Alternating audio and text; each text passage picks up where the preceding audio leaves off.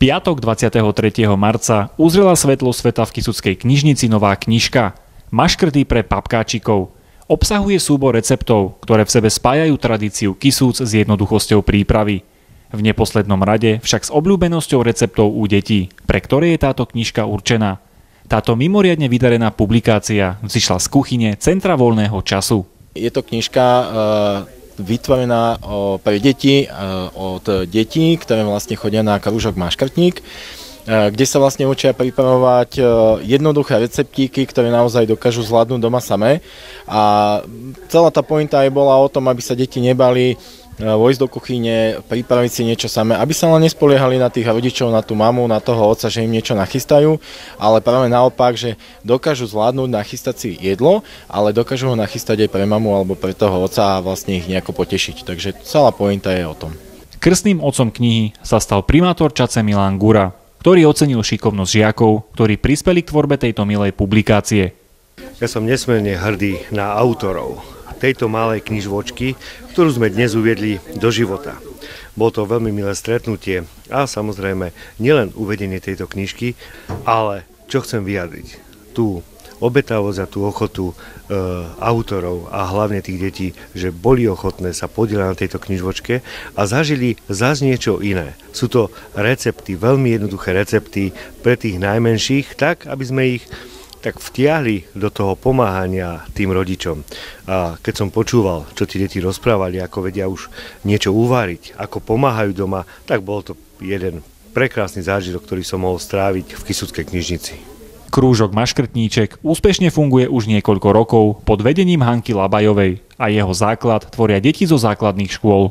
Skôr tie mladšie, Tie staršie už sú tak trošičku lenivejšie by sme to nazvali, ale tie mladšie sú odhodlané, sú aktívne a hlavne ich to baví. Keď objavia čaru, ovocia, zeleniny a naozaj tých jednoduchých jedál, že aké sú e, chutné, tak e, o to viac ich to poteší. E, samozrejme, horšie je to aj s upratovaním potom, ale je to súčasťou tohto kružku, aby sa naozaj deti naučili aj pripraviť to jedlo, ale samozrejme sa naučiť aj upratovať a nejakú tú zodpovednosť mať za to, že e, ten poriadok e, musí byť a takisto aj e, všetky tie veci, ktoré sú okolo toho, nie sú vždy jednoduché, ale hravo sa to dá zvládnuť, keď to ide s úsmevom. Čaro kuchyne objavili vďaka krúžku už desiatky detí. Každé z nich prilákal iný dôvod, tak a preto, lebo ja som väčšinou, keď som chodila na krúžky, tak to boli všetko iba také športové, že som sa pri tom aj unavila. A toto, bol, toto je taký krúžok, že je to aj na také odreagovania, že sa naučím aj čo nové, čo som nakad ešte neskúšala, alebo že by som aj po, potom mohla pomáhať nakad máme alebo niekomu inému. Ja som sa chce, veľmi chcela naučiť eh, variť aj piesť niečo a v kuchyni som sa tak bala a v tom krúžku som sa prestala bať a začala som naozaj piesť doma aj variť. Ja som preto, lebo ja som sa chcela naučiť variť, tak som, e, mama ma proste prihlasila do toho kružku, tam som sa naučila všelijaké nové veci, aj s mixerom som sa naučila robiť, tak preto som sa prihlasila. A nadviažem teda na to, čo ste mi už povedali, že čo všetko ste sa tam už stihli naučiť za ten čas, ktorý tam ste? Tak naučili sme sa, že keď ideme niečo variť, naučili sme sa, čo potrebujeme vlastne ako tie suroviny, že aby sme vedeli vlastne pripraviť to jedlo. Naučili sme sa nakad merať o, odmerkami, pracovať s mixermi, s rôznymi škrabkami a naučili sme sa niečo, čo sme nakad ani nepoznali. Naučila som sa všeličo nové, hlavne ako pripraviť dobré jedlo, aby som tam nezabudla dať nejakú surovinu a naučila som sa aj narábať s nožikom a tak. Ja som sa naučila robiť raňajky, teraz robím skoro každý deň. Um, a naučila som sa tam veľa dobrých vecí a mám tam aj dobrých kamarátov. No a ešte jednu otázku vám dám, čo ma napadla. Pochvaľujú si to rodičia doma?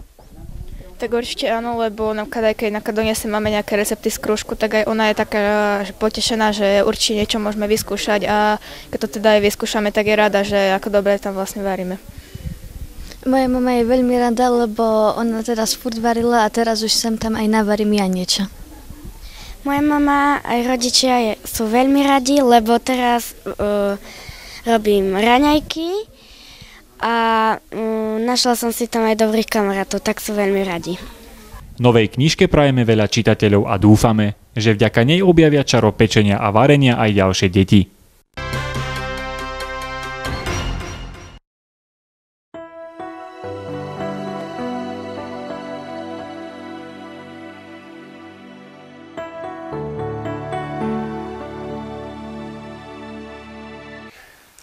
Dobrý deň, vážení televízni diváci. Vitajte pri ďalšej časti právnického okienka Kisuckej televízie. Ako som povedal v závere predchádzajúcej časti, táto časť právnického okienka bude o centrálnom registri exekúcií. Zákon, teda exekučný poriadok, upravuje vedenie centrálneho registra exekúcií, ktorom sa evidujú a sprístupňujú za zákonom stanovených podmienok údaje o prebiehajúcich, teda právoplatne neskončených exekúciách. Komora vedie v elektronickej podobe centrálny register exekúcií a zodpovedá za jeho nepretržitú, plynulú a bezpečnú prevádzku. Komora exekútorov sa zodpovednosti zbaví, len ak preukáže, že sa škode nemohlo zabrániť ani pri vynaložení všetkého úsilia, ktoré možno požadovať. Register exekúcií pozostáva z technického a programového vybavenia slúžiaceho na elektronické zhromažďovanie, spracúvanie, uchovávanie, vyhľadávanie a prenos dát súvisiacich s exekučnou činnosťou. Register exekúcií je verejným zoznamom dostupným na webovom sídle exekútorskej komory, do ktorého sa o každej právoplatne neskončenej exekúcii zapisujú údaje. Zapisujú sa najmä tieto údaje. Označenie súdu, ktorý udelil poverenie na vykonanie exekúcie, ďalej spisová značka súdu, Ďalej, označenie exekútora, ktorému súd udelil poverenie na vykonanie exekúcie, tiež spisová značka exekučného spisu. Exekútora, deň, mesiac a rok udelenia poverenia na vykonanie exekúcie, vydania uznesenia o povolení odkladu exekúcie a deň, mesiac a rok vydania uznesenia o zastavení exekúcie, ak sa exekúcia zastavila aspoň v časti. Tiež označenie vymáhaného nároku, na ktorého vymáhanie poveril exekútora súd, ako aj údaj o aktuálnom stave vymoženia nároku a trov exekútora. V registri sa o neskončenej exekúcii takisto uvádza aj údaj, ak ide o povinného a oprávneného, a v prípade fyzickej osoby ide o meno, priezvisko, dátum narodenia, rodné číslo a adresa bydliska. Ak ide o fyzickú osobu podnikateľa, meno, priezvisko, dátum narodenia, adresa bydliska alebo miesta podnikania a identifikačné číslo, ak bolo pridelené. A ak ide o právnickú osobu, názov alebo obchodné meno, sídlo a identifikačné číslo. Ak bola exekúcia právoplatne zastavená alebo skončená, a to inak ako zastavením, exekútor vymaže z registra všetky údaje týkajúce sa vedenej exekúcie. Vážení televízni diváci, týmto táto časť právnického okienka končí. Ja vám ďakujem za pozornosť a uvidíme sa pri nasledujúcej časti právnického okienka Kisuckej televízie, ktorou budem pokračovať o úprave fungovania Centrálneho registra exekúcií. Dovtedy dovidenia.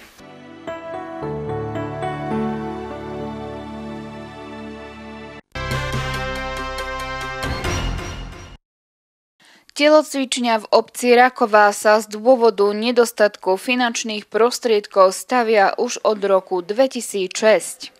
Celý objekt je rozdelený na dve časti. Hracia plocha a triedy na vyučovanie. V roku 2015 boli dokončené stavebné práce prvej etapy, ktorá zahrňa výstavbu troch učební, kabinetu, WC a rozcvičovne.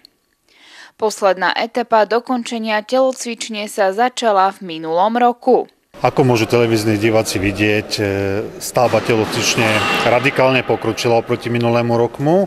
Hala by bola takmer hotová, žiaľ, nemôžeme pokračovať v prácach s drevom, čo sa týka podlahy a obkladov, nakoľko stále je e, tu chladno a je tu veľká vlhkosť, ale toto sa už od zajtra zmení, nakoľko sme nainštalovali novú vzduchotechnickú jednotku, ktorá to tu pekne vykúri, bude to tu veľmi ekonomické a budeme môcť pokračovať e, ďalej pri dokončovaní prác.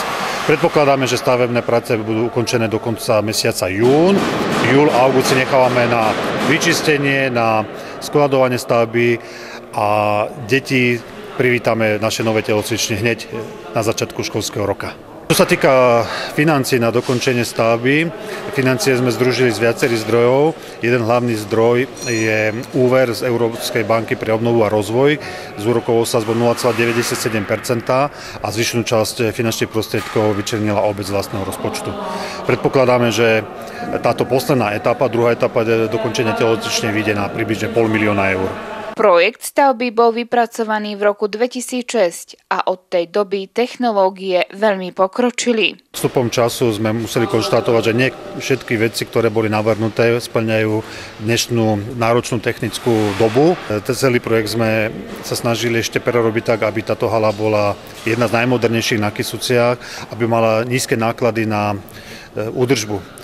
Môžem spomenúť e, vysokoefektívnu vzduchotechnickú jednotku, ktorá splňa najnovšie normy ekodizajnu s hodnotením A+. Taktiež sme osadili už e, izolačné trojskla, zvyšili sme izoláciu stien, máme tu na špeciálny poliuretanový strop a veľmi sa teším na novú generáciu podlahy, ktorá bude kombinácia tradičnej drevenej podlahy, na ktorú sme boli my ako deti zvyknutí, s kombináciou poliuretanového povrchu. Obec Raková bude pokračovať aj v úprave okolia telocvične budovaním prístupových vchodov a parkoviska. Celá budova je rozdelená do troch častí. Prvá časť sú priestory učební, v tejto budove sa nachádzajú tri triedy a vchod budú mať samostatné žiaci tu na od školy. Druhá časť je časť telocvičnia plus šatne a sprchy tento chavút bude zase po ľavej strane, vrátane parkoviska. No a tretiu časť, ktorú tento rok už pravdepodobne nedobudujeme, ale chceli by sme to vybudovať na budúci rok, je wellness sauna centrum, ktoré bude mať samostatný vchod e, so samostatnou prevádzkou a predpokladáme, že ho poskytneme niekomu do najmu. Telocvičňa v obci Raková bude dokončená v septembri 2018. Na nové prístory telocvične sa tešia žiaci základnej školy Milana Mravca. Myslím, že pred nami je skvelá budúcnosť, čo sa týka telesnej výchovy v našej škole. E, na túto udalosť sme sa tešili už dávno a veríme tomu, že stav telesnej výchovy v Rakovskej škole sa veľmi zlepší a žiaci a samozrejme aj verejnosť bude využívať e, túto stavbu plnej spokojnosti. Čadca versus námestovo s výsledkom 1-1 po polčase 1-1. Zápas začal v dobrom tempe. Domáci kopali dva rohové kopy, ale zakončenie neboli dôrazné. Hra sa odohrala medzi 16-kami. Súperi sa z tretej ligy veľmi dobre poznajú. O to sa útočníci na jednej i druhej strane ťažšie presadzovali.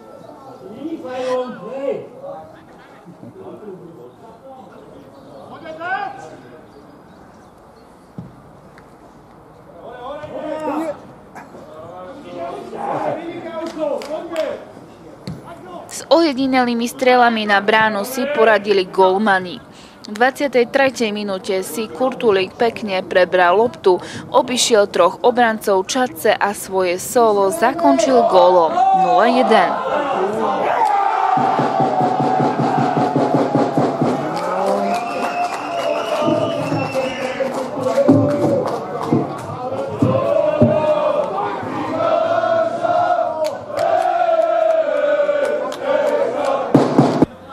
O pár minút neskôr sa po nákope domácich presadil Zimka, ktorého hostia faulovali v 16.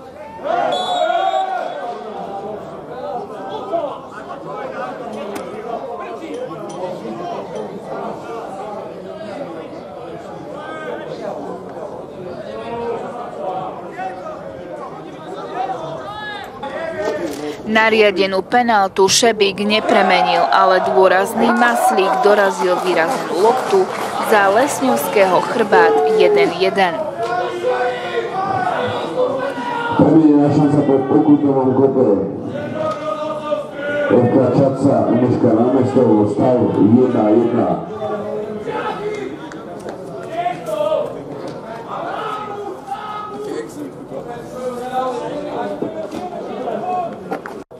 Po obrátke bol zápas aj naďalej veľmi vyrovnaný.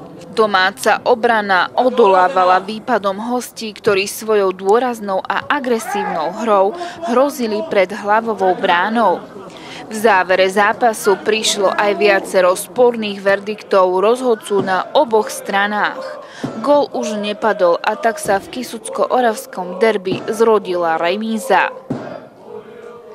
Domácim bude kvôli červenej karte chýbať v ďalšom kole Pliešovský, ktorý hýril pohybom a tak bude v zápase s Liptovskou štiavnicou citeľnou stratou.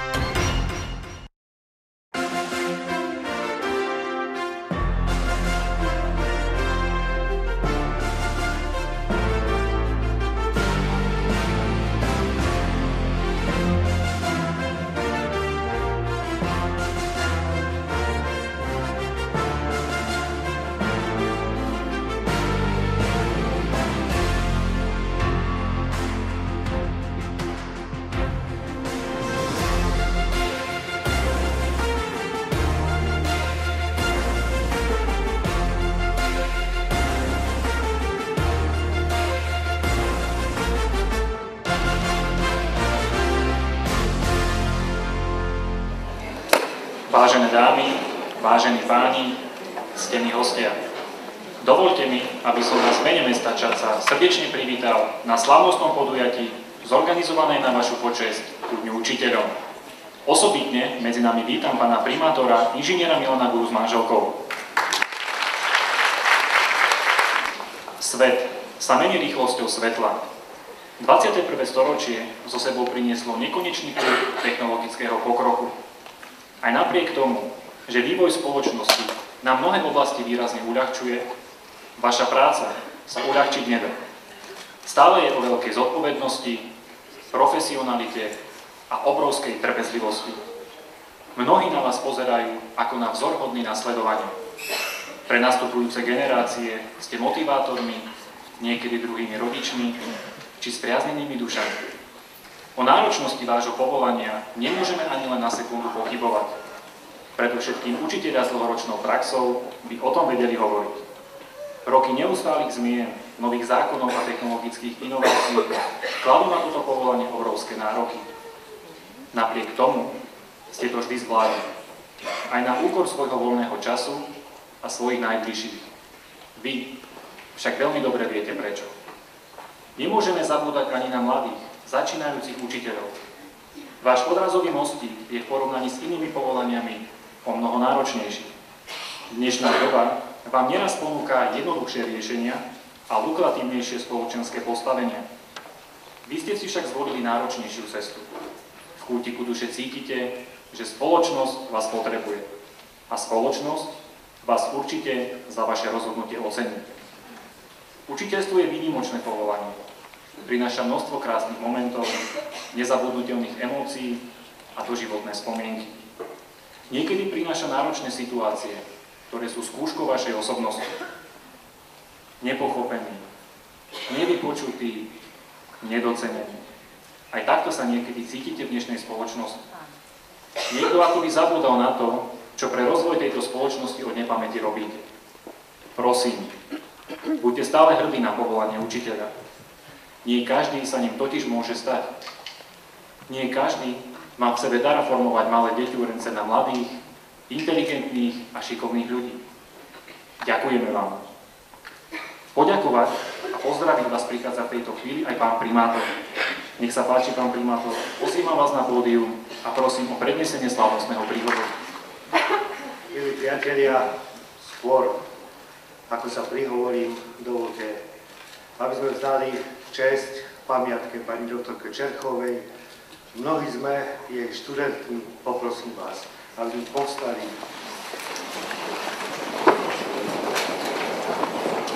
týmto vyjadrili minútou ticha čest jej pamiatky. Ďakujem.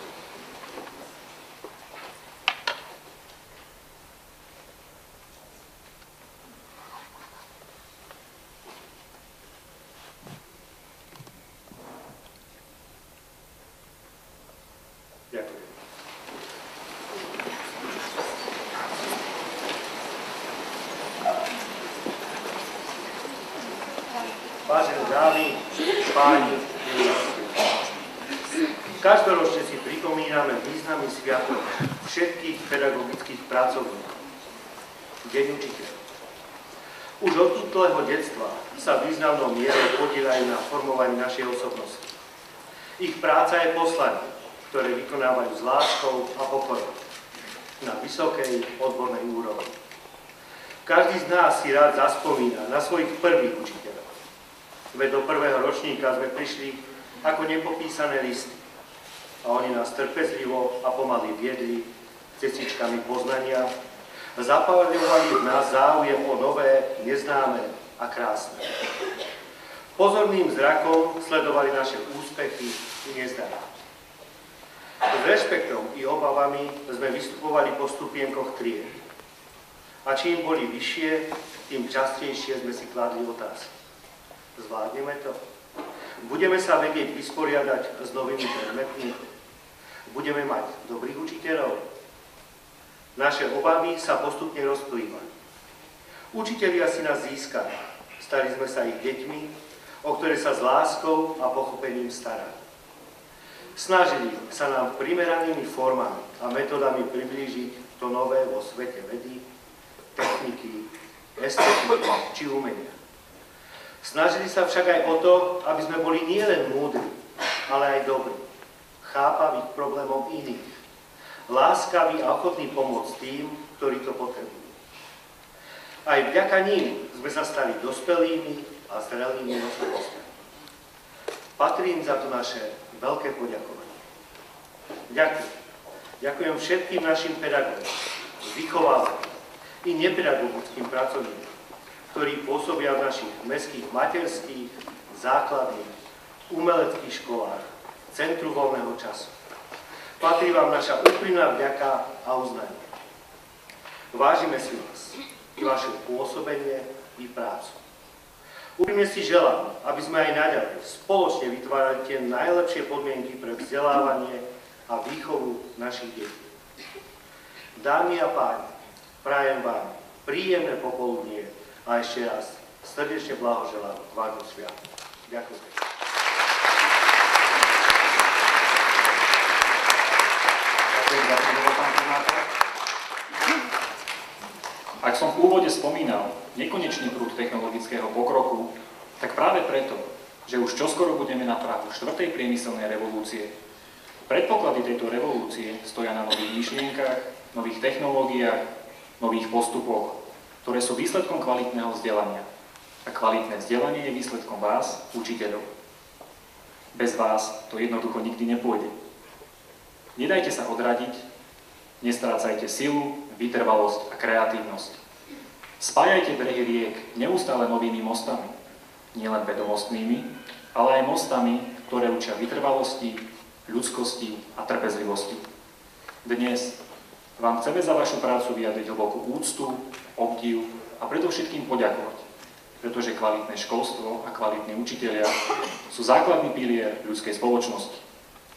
Tomto roku nominovali vedenia jednotlivých mestských škôl a školských zariadení na ocenenia svojich kolegov, ktorí majú za sebou roky úspešnej praxe a ktorých rukami prešli stovky detí.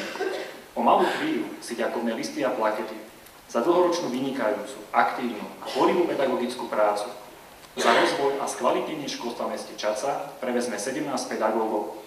Ocenenia odozdajú pán primátor a vedúci oddelenia školstva, kultúry, mládeže a športu, pán doktor Jan Polak, ktorého pozývam na pódium.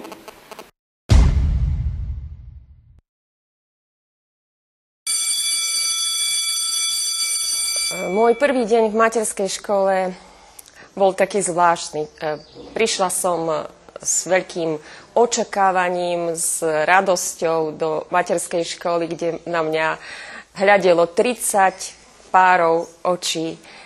Deti boli vyľakané možno tak ako ja, pretože videli novú pani učiteľku a ja 30 detí, ktoré som nevedela, čo s nimi. E, ako deti sú živé, milé, pekné, ale narastá zodpovednosť, čo ja s nimi ale postupom času e, tá zodpovednosť, ten strach opadol a e, z detí sa vykľuli kamaráti. E, tak ako som so strachom prichádzala do materskej školy, tak som si túto prácu veľmi obľúbila. Stala sa e, pre mňa nenahraditeľnou a neviem si inú prácu okrem detí a materskej školy predstaviť. Je to moja láska.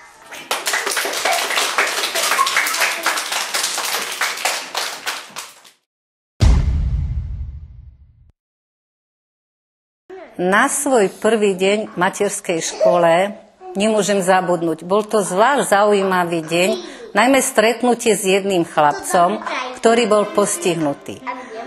Bolo to 6. novembra, keď som vošla do triedy, na mňa sa pozeralo 27 párov zvedavých očiek. Zo skupiny týchto detí vystúpil do popredia jeden chlapček a začal spievať pieseň, ktorú naučila ho babička, povedal a bola to pesnička Pod horou, pod horou, čierne psica breše. Všetky deti sa postupne zapájali do spevu a pravda, že aj ja s nimi. Takže sme taký krásny deň plný spevu prežili. To mi zostalo tak, a najmä ten chlapec, lebo bol postihnutý damnou syndromom.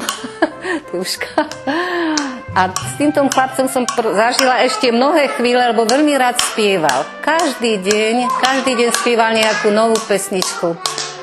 Boli to pekné chvíle, ozaj s ním. Je neuveriteľné, že napriek rokom praxe majú tieto dámy stále toľko energie, entuziasmu a úsmevu na tvári, ako v ten povestný prvý deň. Ako prvú pozývam na pódiu pani Dan Švábikovú z materskej školy Janka Kráľa. Pani Jana Švábiková nastúpila na dráhu pedagóga pred 35 rokmi.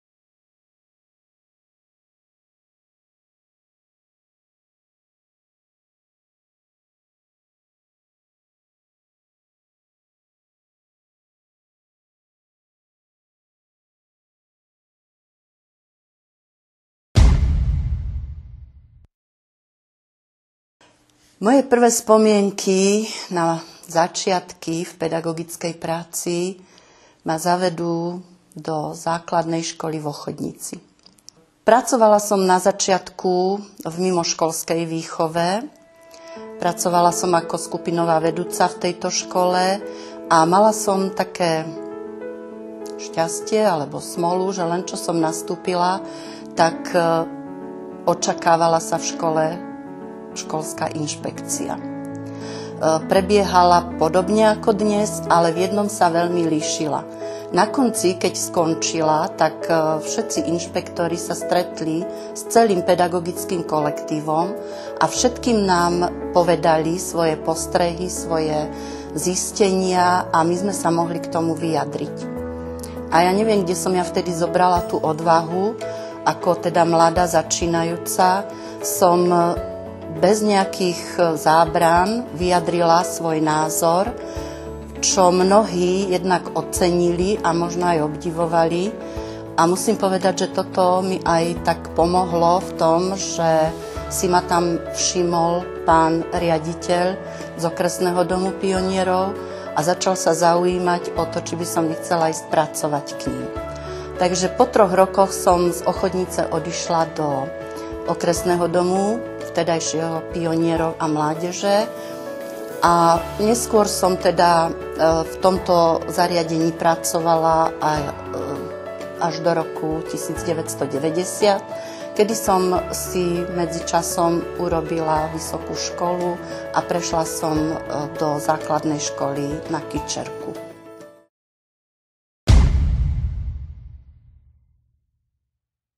V roku 1994 som nastúpila učiť e, na základnú školu Žárec. E, bola som triednou učiteľkou piatakom, takže žiakom takých, ako učím teraz. Učila som ich biológiu. Boli to hodiny veľmi tvorivé, zaujímavé. Ja ako začínajúca učiteľka som svoju prácu brala veľmi zodpovedne, zodpovedne snažila som sa. Veľa voľného času som venovala uh, svojim žiakom aj po vyučovaní. Stretávali sme sa vonku, hrali sme sa, zabávali sme sa. Uh, vtedy pre mňa tie dva mesiace prázdnin boli dlhé, chcela som, aby boli kratšie, pretože som sa už na svojich žiakov veľmi tešila. A po tých 24 rokoch e, myslím si, že situácia sa nezmenila, že som rovnako snaživá aj tvorivá, ale teraz už by som si prijala, keby tie prázdniny boli dlhšie.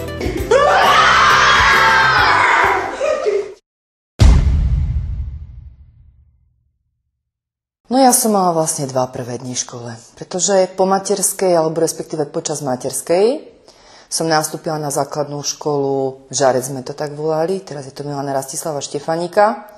A tam som učila 4 vyučovacie hodiny v týždni hudobnú výchovu. No a môj prvý velikánsky veľký deň, keď som nastúpila do školstva, bol na základnej škole pod Zavos. Tam som pracovala 15 rokov a na ten deň si veľmi, veľmi dobre pamätám. Dostala som hneď eh, prvú triedu piatačikov, slovenský jazyk, a zase v 9. ročníku hudobnú výchovu.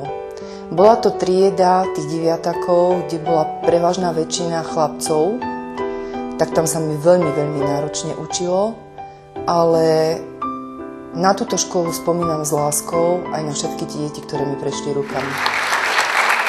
Na pódium pozývam pani riaditeľku základnej školy Jana Amosa Komenského, pani magistru Anu Dinisovu.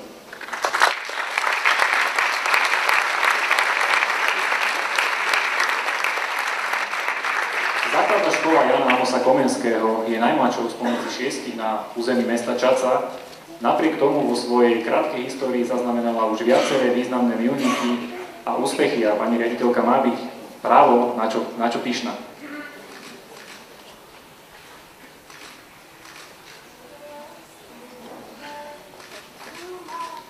Pani Denisová pôsobí už v školstve 38 rokov.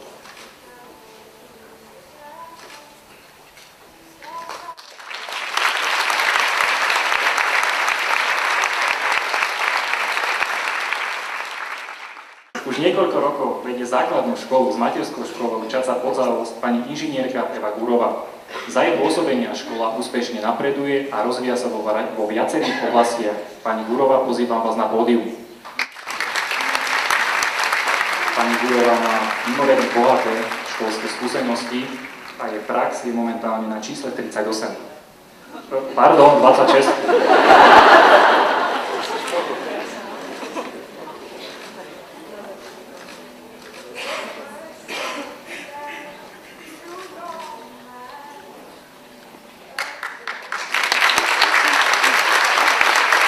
Ako tretiu pozývam na pódium pani riaditeľku Miroslavu Habčakovú Samsonovu, ktorá vedie základnú školu Milošovej. Ak by sme mali nazvať slovo energia inak, tak určite pani Miroslava Habčaková Samsonová.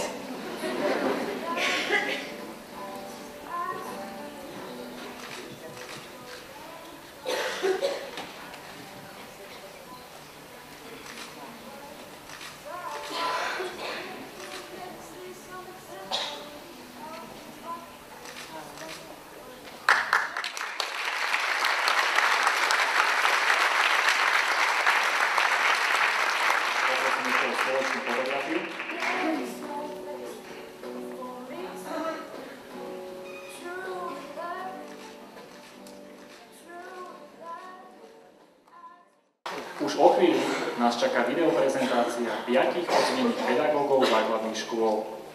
Čo vám o nich môžem takto v skratke povedať? Asi toľko, že každá z nich je iná, každá je výnimočná a každá svoje povolanie miluje. Hm, teda dúfam.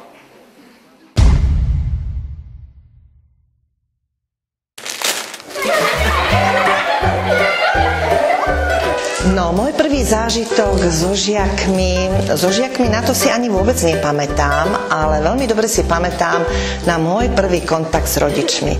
Moje prvé rodičovské združenie.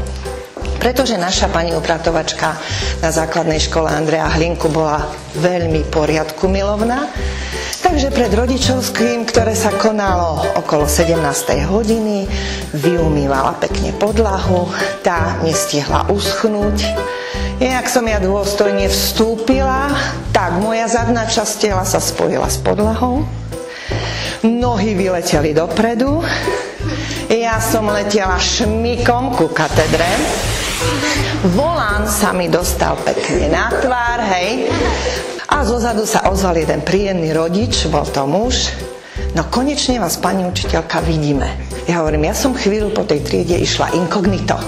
No a teraz ma už konečne vidíte. A keď som videla, ako sa tí rodičia dusia smiechom, hej, ja vrajím, dávam vám priestor na to, aby ste sa zasmiali.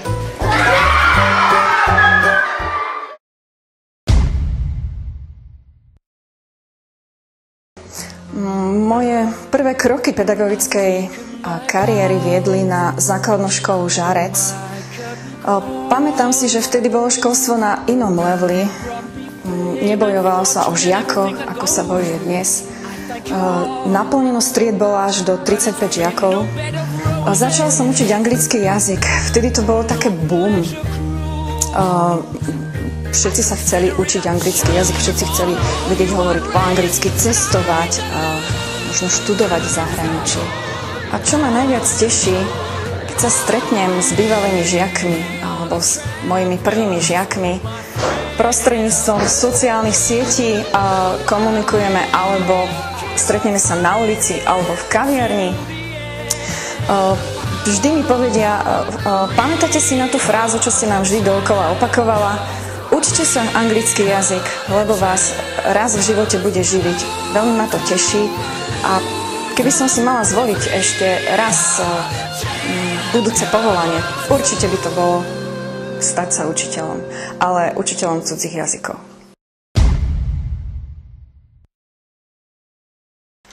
Na svoju prvú hodinu na tejto škole si spomínam veľmi dobre, pretože som dostala hneď triednictvo a to bolo v 8. F triede, kde bolo vyše 30 žiakov. No a keď som prvýkrát vstúpila do triedy a postavili sa, tak som mala pocit, že ma prevalcujú. Boli tam sami dlháni chlapci, väčšina chlapcov. No a ja o 20 kg menej ako teraz. Takže viete si predstaviť e, ten pocit. No a jednoducho bolo, bola to pre mňa veľká výzva, ale momentálne učím tiež osmakov teraz. Je ich e, síce menej, ale môžem povedať, že dávajú mi zabrať tak, ako tí žiaci moji prví pred 20 rokmi.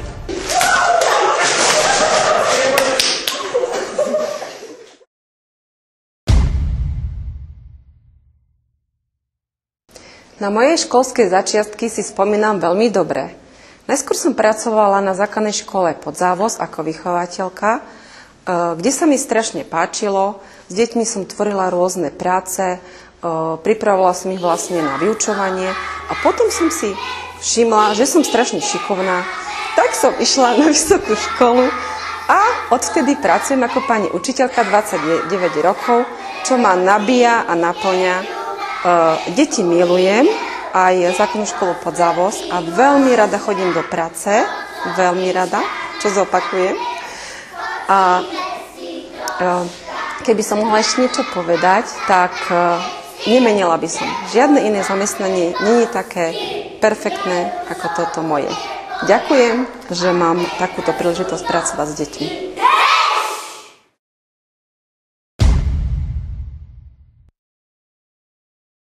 Moje prvé pôsobenie bolo na základnej škole pri detskej ozdravovni Skalice Serafínov.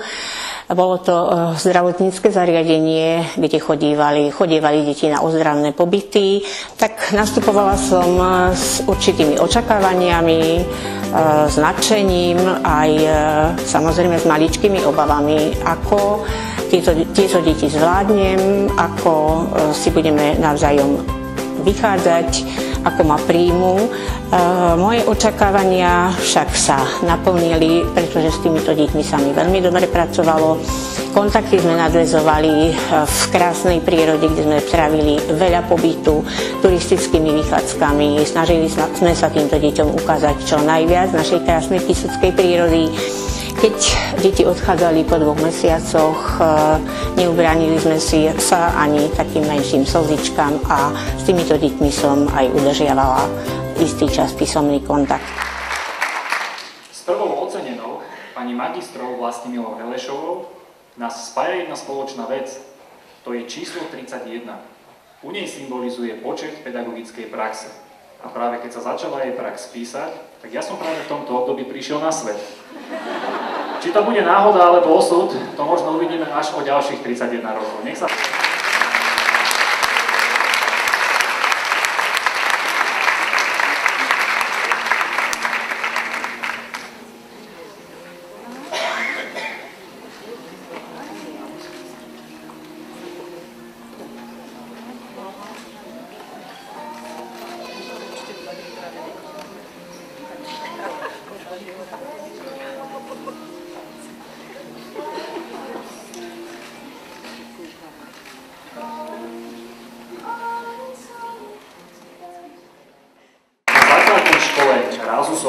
ešte zostaneme druhou ocenenou, je pani magistra Vlasta Prengelová.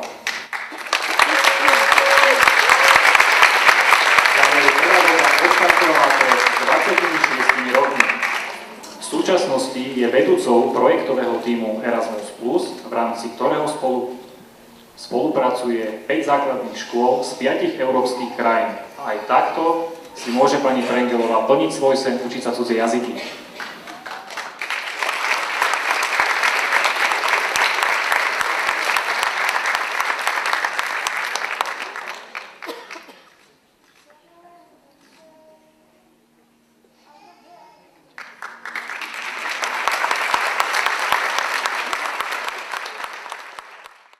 základnú školu Milana Rastislava Štefánika, kde už 20 rokov príkladným prístupom si získava srdcia žiakov pani inžinierka Jozefina Huntošová.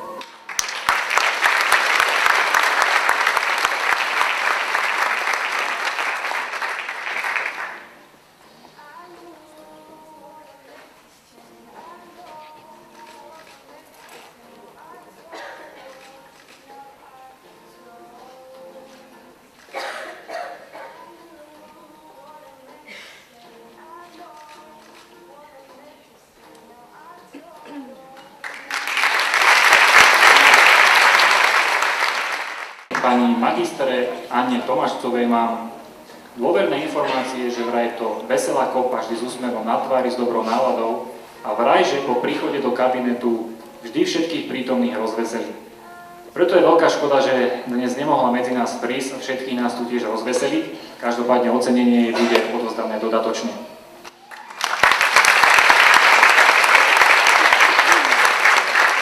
Ako kategórii oceníme pani Vieru Ciprichovú. Nech sa páči, pozývam vás na pódium.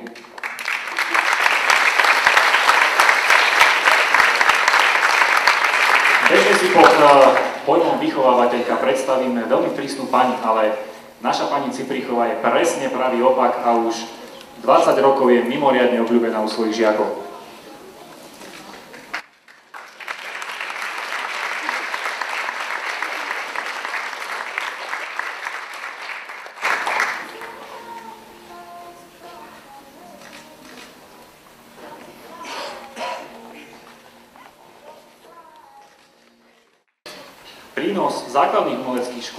Centra voľného času pre rozvoj detí je neoceniteľný a nedá sa merať žiadnymi kritériami.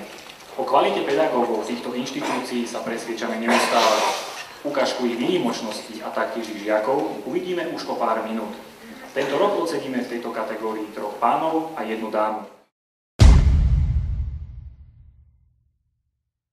Prvé moje pôsobisko bolo v Krásne nad Kisucou. Vyfasoval som hneď triedu. Trieda bola ako správna dedinská trieda od e, malých detí, to boli piatačíkovia, od malých detí, ktorí chodili v čižmách z hôr, až po meské deti. Keď e, vždycky po sobote nedeli som sa ich pýtal, že čo počuli na svadbe, tak mi jednoducho vždy zaspievali pesničky a boli to pesničky aj s takými slovami, ktoré by nepatrili do nejakých školských hlavíc. Aj toto som všetko ja prepočul, pretože keď mi dievčatko zaspievalo, že sedela na buku, volala kukuku a potom, keď mi zaspievalo, že sedela na tyči, volala hasiči, tak som teda mal čo robiť, aby som sa, aby som sa teda zdržal smiechu, ale pokračoval som proste ďalej s gitarkou. Pochválil som mu, akú krásnu pesničku nám doniesla zo svadby a ľudovky a ľudovky a ľudovky. A to bol základ toho, ako deti mali radi hudobnú výchovu.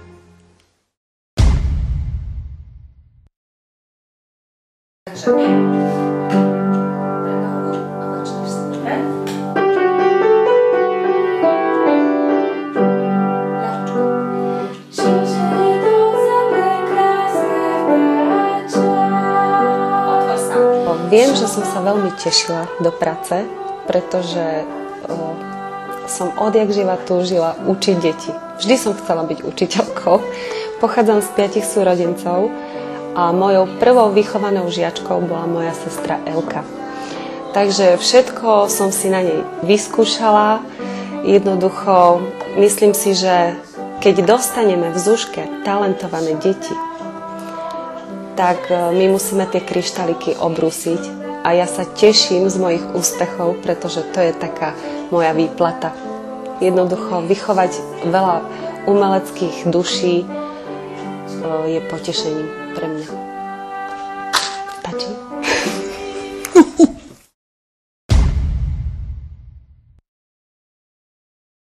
Na prvú vyučovaciu hodinu si už síce nepamätám, ale pamätám si veľmi dobre, ako som ešte mladý študent Žilinského konzervatória chodieval učiť na základnú umeleckú školu 1 v Čaci Uhluška, kde si pamätám aj na meno svojho prvého žiaka, volal sa Joško Tlelka.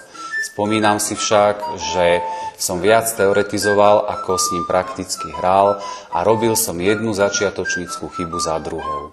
Preto si myslím, že každý mladý učiteľ by sa mal naučiť najskôr učiť, aby vedel sprostredkovať zrozumiteľne učivo svojim zverencom. Nedá mi nespomenúť si aj na svojich kolegov, ktorí ma po odbornej stránke viedli, dávali mi cenné rady a boli to najmä pán učiteľ Adam Ševčík a kolega pán Ľubomír Marčan, s ktorým som hrával v dychovke a na tieto časy si veľmi rád spomínam. Bohužiaľ ich môžem dnes už pozdraviť iba do učiteľského neba.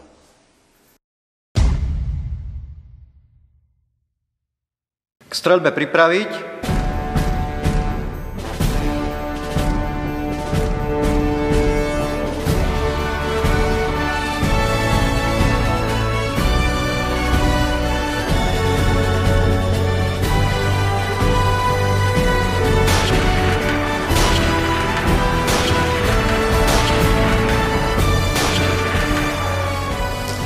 Deň v CVČ bolo, že to už to bolo strašne dávno.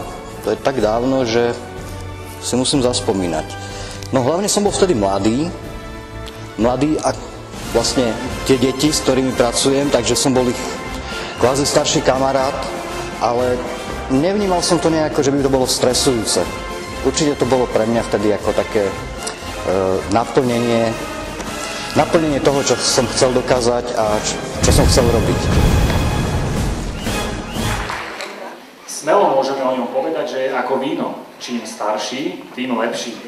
Reč je o riaditeľovi základnej umeleckej školy Jozefa Potočára, pán magister Peter Bíčanek. Nech sa páči, poďte k nám.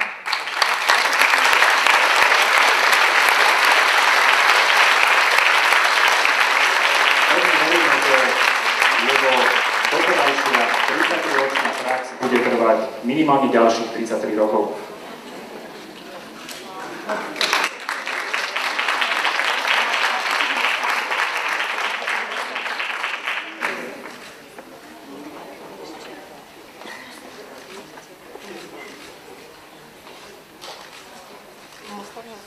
Inak dámy, toto je dnes to najlepšie víno, ktoré vidíte.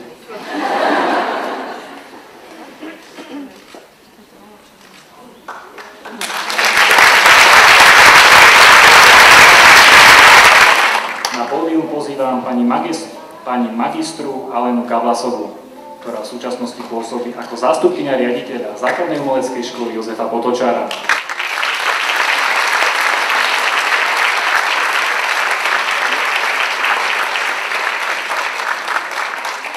Ide o mimoriadne skúseného pedagóga s 26-ročnou praxou.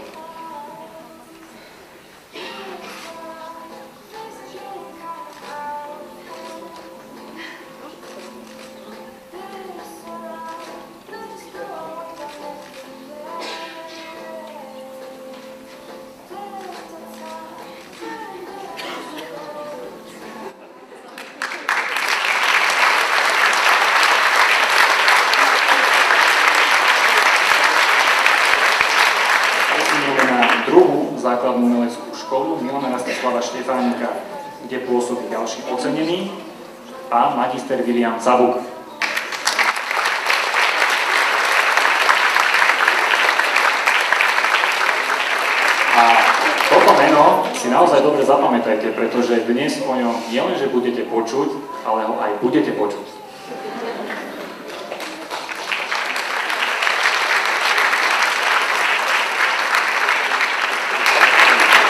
Jeho pedagogická prax je rovnako ako v prípade pani Galasovej 26 rokov.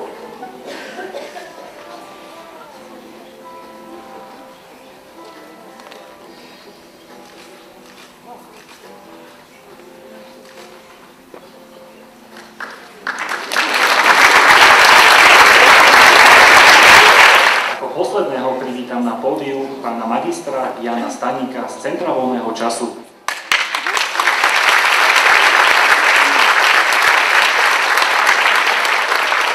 V pedagogických vodách pláva už 21 rokov. A ja ešte k tej videovizitke o pánovi Staníkovi doplním, alebo mu teda poviem, Janko, vy ešte ste mladí.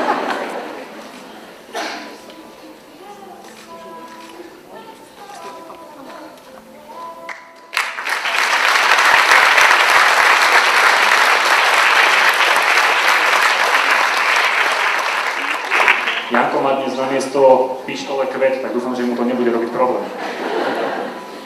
Poprosím o ešte jednu spoločnú fotografiu.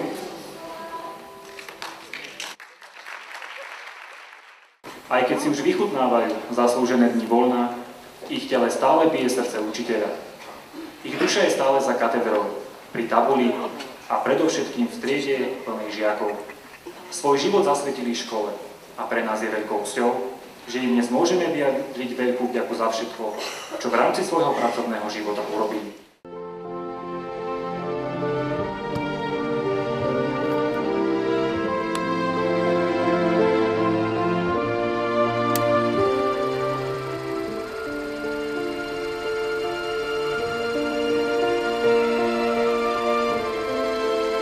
Môj prvý nástup e, do materskej školy v Čiernom pri Čaci bol veľmi zaujímavý. Deti boli také krásne, milé, ale hovorili náreči, moc som im nerozumela. Potom som sa chodila pýtať pani kuchárky, čo to znamená. Ale boli zlaté, dobré, mohli sme sa pekne porozprávať, len som mala vždy pocit strachu, aby mi neušli. Hlavy som počítala, že či sú všetky. No ale pohode, ja som si zvykla na to prostredie a ťažko som sa lúčila, potom som nastúpila už do Čace, lebo som išla na materskú dovolenku. Ale deti, a hneď som dostala aj krajskú inšpekciu, že prišla nová učiteľka, čo ako, ale ja som si svoje urobila, deti ma poslúchali, tak bola to pohoda. Nemám žiadne problémy s nimi. No.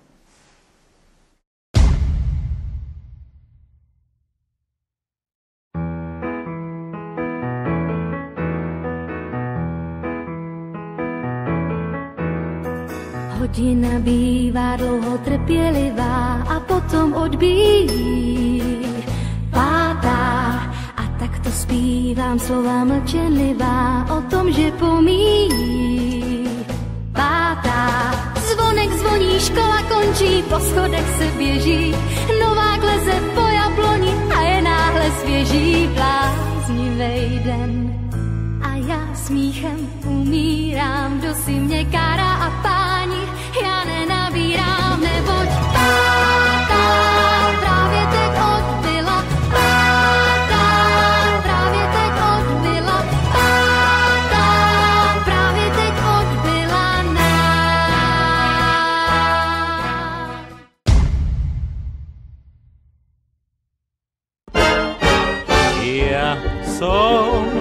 optimista, viem to dozaista, že ten svet zle nevyzerá, keď človek naň nepozerá.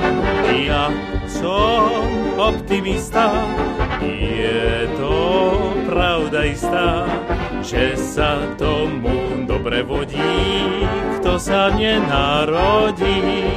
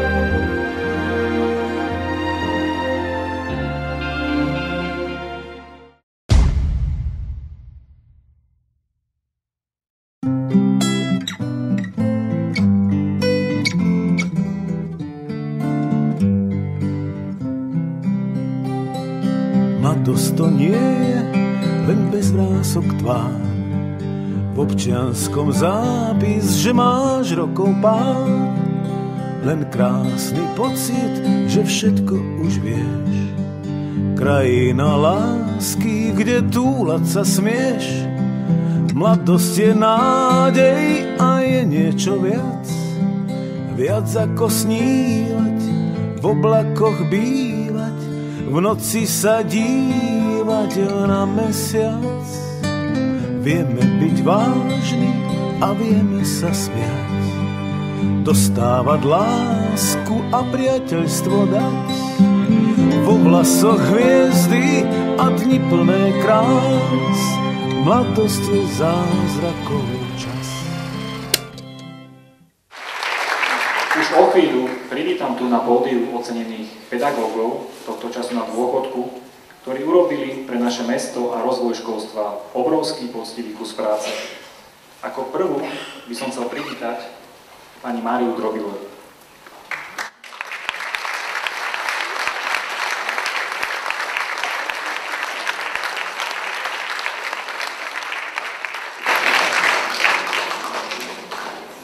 Bolo neuveriteľne príjemne počúvať pani Drobilovu, ako hovorí o svojom prvom v škole, ako by bol len včera.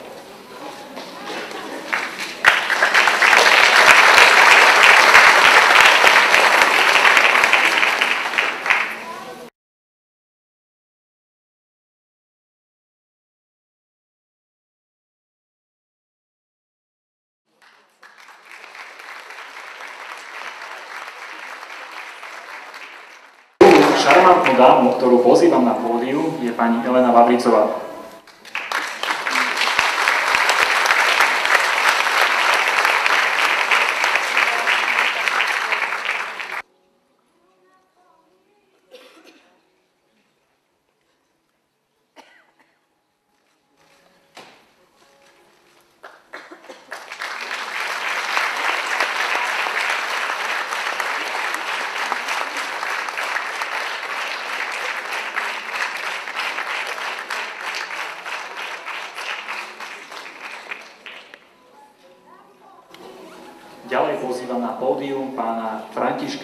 Franeka.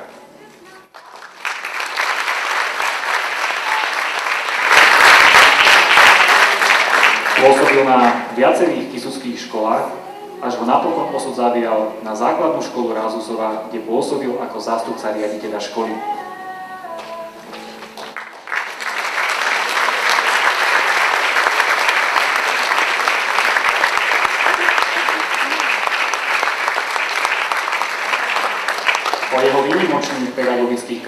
Svedčí aj skutočnosť, že v roku 1975 bol poverený odborom školstva na zriadenie pedagogicko-psychologickej poradne, čo bol v tej dobe mimoriadne významný počin.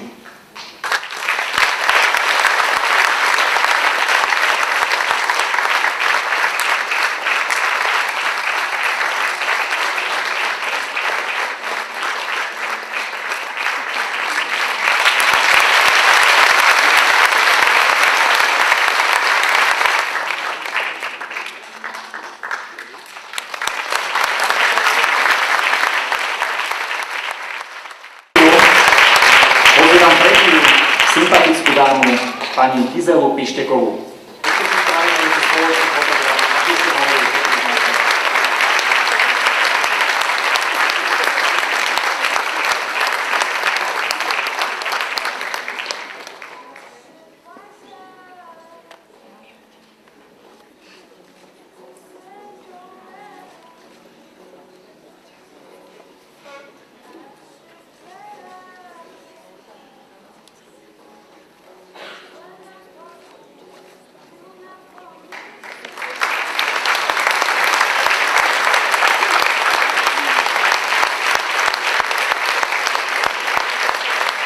Ďakujem a ešte si urobíme jednu spoločnú fotografiu na záver.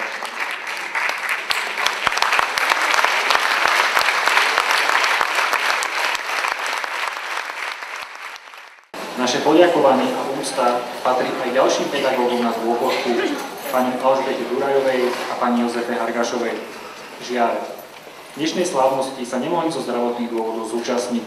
Ocenenie bude odovzdané dodatočne a Ak by som ešte mohol poprosiť o taký jeden krásny potlesk ako pred chvíľu pre nich na diálku.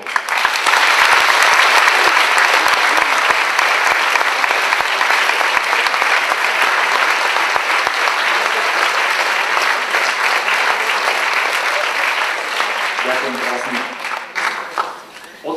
Pedagógom srdečne blahoželáme a zároveň vám, vážení pedagógovia, prajem do ďalších rokov pracovného i osobného života veľa zdravia, energie, entuziasmu, životného optimizmu a najmä úprimné prejavy úcty, lásky a uznania od žiakov.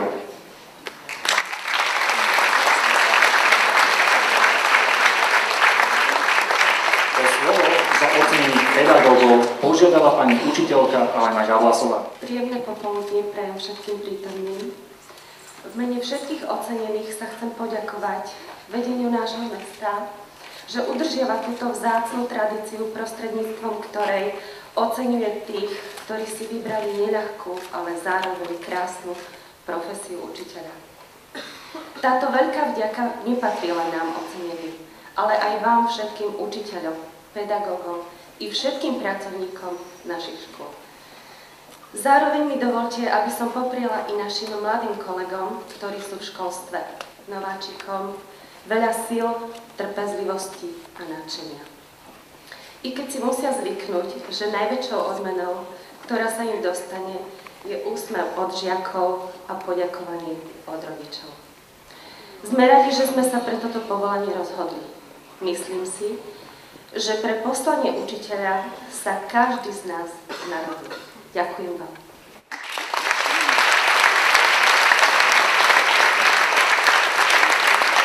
Ďakujem za vaše slova, pani Gavlasová. A slovo odovzdávam pánovi Janovi Kolákovi. Ďakujem.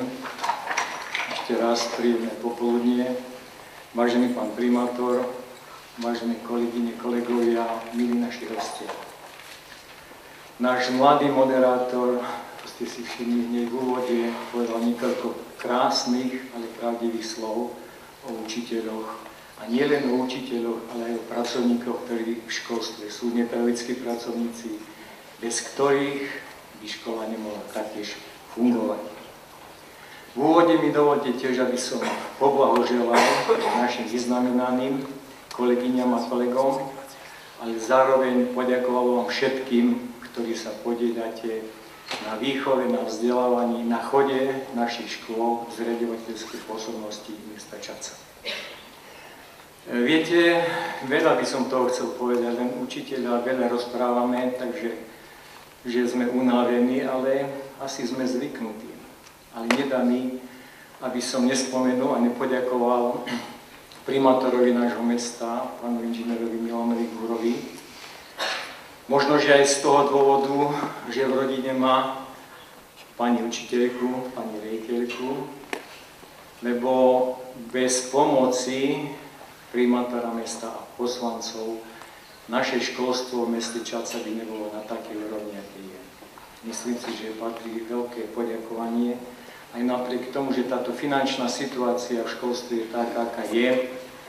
Naše školy, myslím si, že netrpia a takisto aj pre tento rok, myslím si, že môžem povedať, aj keď nie je to nejaká veľká odmena, ale aj nejaká tá finančná bude. Takže ešte raz, pán primátor, za seba, ako za vedúceho oddelenia, myslím si, že všetkých našich kolegov a kolegyne veľa vďaka.